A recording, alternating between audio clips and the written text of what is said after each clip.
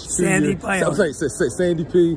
Just wanted to, um, you know, just pay homage to your to your contribution real quick and say and tell you thank you for all that you've done, man. Real quick, um, I was just saying I was from Norristown, the Conshohocken Donofrio Classic Tournament. I've seen you coach uh, Shaheen Holloway over there, man. You you, you had some, some, some classic moments over the years, man. What's what, what's something that sticks out to you uh, from your contribution over the years? Man? I thought I thought the people there were nice at uh, the Conshohocken doing their all. They were good. They were just really basketball fanatics. Absolutely. It was fun. It used to be back in the day where all the college coaches used to come in. Yep, yep, And yep. then Sonny Hill All Stars was the big one. That's right. That dominated. That's right. And then we sort of took over from there. That's right. With the likes of guys like uh, Randy Foye, Bobby Early Jr., Yeah. Kyrie Irving, Al Harrington, Dante Jones. I remember all those.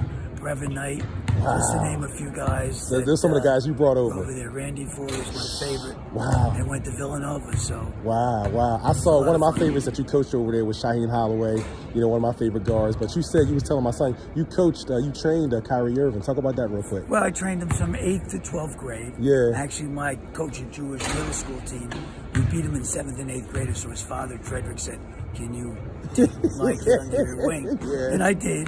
And I got to play him all the time, one-on-one, or teach him skills and everything. Yeah, yeah, And yeah. I have a new one, Aiden Carter, Wow. who's 14. He's, Okay. uh, he's, he's an up-and-coming star. I've had him since third grade. Gotcha. And he's got more skills than Kyrie as the ninth. Wow. When Kyrie was in ninth grade. Wow. But Kyrie kept working, working hard. Yeah. Great attitude, loved to play basketball. Yeah. So it was fun and enjoyable to coach him. And on top of that, was very uh, Kyrie was a very good student. Absolutely. And this kid also, Aiden, is a very good Yeah. student. That's important and a good person. Awesome. Well, thank you for your contribution, man, and you keep it going. We appreciate you, Coach. I will. Thank Yeah. you.